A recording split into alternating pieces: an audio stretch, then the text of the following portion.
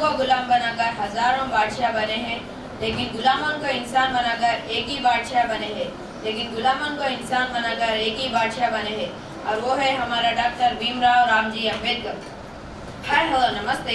A elegant morning to the dignified people who are gathered here for this Pinnacles Carnival of English Elocution Competition. This is Shashank, and from Standard, I am a Pinnacleian. Now, I am going to talk about Dr. Bhimrao Ambedkar.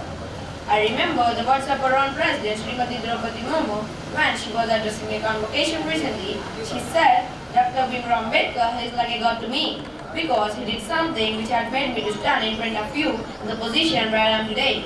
So, what exactly did Dr. Bhimrao Ambedkar do that which our president was talking about? Well, to know this, one has to know his story, his life, and above what he always did for. As a young boy, he was forced to sit out of his classroom and couldn't touch the same part as his classmates, refused education in Sanskrit, and had to face much more discrimination at every stage of his life just for being in a suppressed caste. But these not deter him from his goal. His goal to make every Dalit man to realize their individual identity. His goal to make every woman in his country cherish prospects of freedom. His goal to propel India and a future granted social justice and equality. What has always inspired about Baba Saheb was his courage and his determination despite all the hardships that he had faced in his life.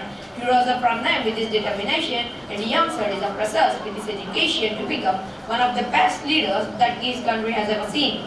He is the man who was forced to walk out of his classroom with his slate and his gunny bag. Years later, years later, he became the man who was walking into the very parliament hall holding the greatest document of Indian history, the Constitution of India.